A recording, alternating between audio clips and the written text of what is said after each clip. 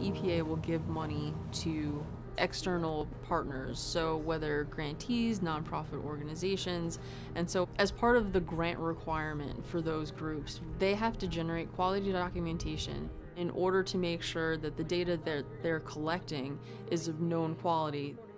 I am Kathryn Drisco. I am a quality assurance officer on the Air and Water Quality Assurance Team in EPA Region 2 in Edison, New Jersey with the water programs, a lot of times we get in documentation such as quality assurance project plans, quality management plans, standard operating procedures, and then we also can go out into the field and conduct assessments such as a quality system assessment or a technical systems audit.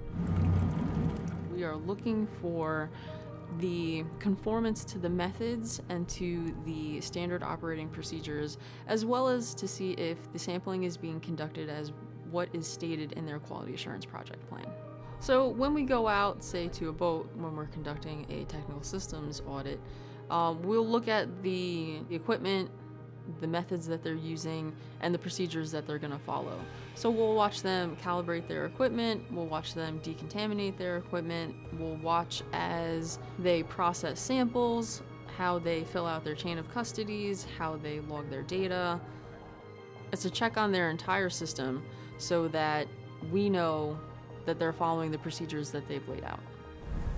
I've been working at EPA for nine years, and some of the things that I really enjoy about the agency is that I get to work on a diverse range of projects. When people think of quality assurance, they think of document reviews and sitting in an office, and a lot of times that's not the case.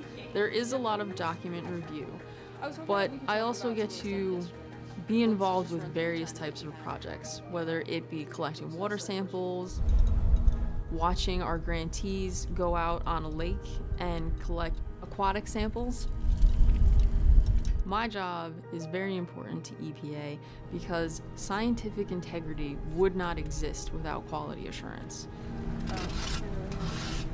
A lot of times you get challenged by different groups about the quality of your data and did you do things correctly.